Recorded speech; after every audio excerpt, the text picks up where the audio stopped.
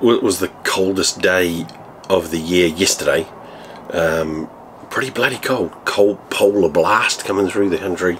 Um, that's not to say it wasn't cold today. So that's why I am rugged up before the game tonight. Alright, let's get into a beer review.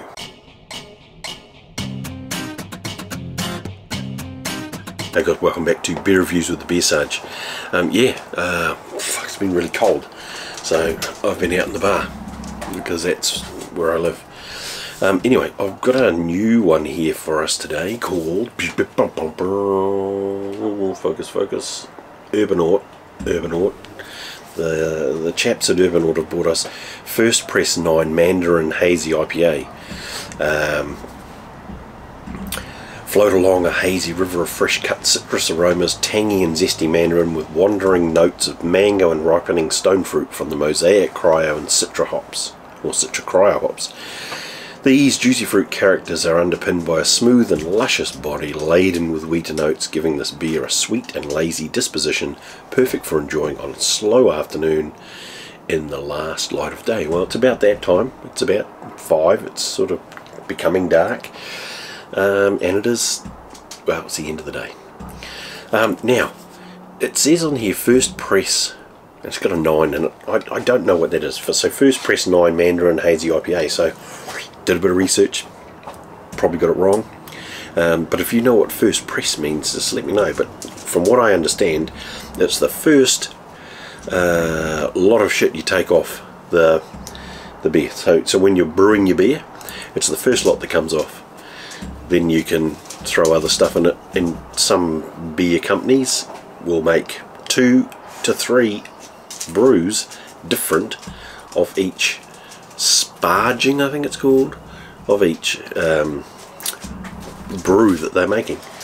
Um, yeah, but this is first press. I don't know what it means. If you know what it means, fucking comments, tell me. Tell me I don't know what I'm talking about. Because I fucking, I actually don't.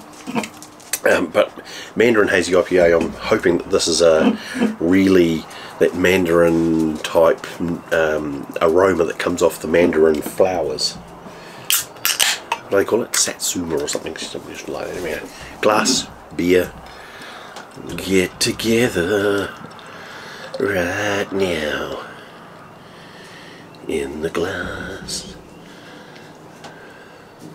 Cooking sausages for dinner tonight. I've got the smash plate on the ugly drum and it got a little bit hot. The old plate got wickedly hot so I've had to remove the sausages that's why the dogs are hanging around because they can smell them um, because they were about to cremate themselves um, I put a piece of bacon on there and yeah let's just say it disintegrated um, anyway sniff oh yes yes. Wow. That's heavily mandarin scented and not not not like left right scented it's scented like smells like mandarin. Wow that is so cool. Because I don't think they put mandarin juice in here. That's just hops making that smell. That's so good. What do you want? You're not getting the sausage. Go on off you go. Dogs now that's so that does smell so good stop going around there Yep, that smells good.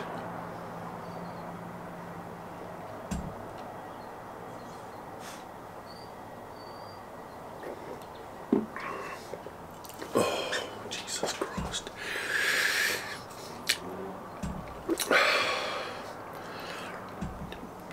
Bitter, little like bitter when you're drinking it, but not, it doesn't hang. It has those citrus notes. The mandarin notes are very very prominent. Um, very nice. And it's not it's not the scent of the flower it's the mandarin fruit. The little peel the bits out. It's that. It is really really good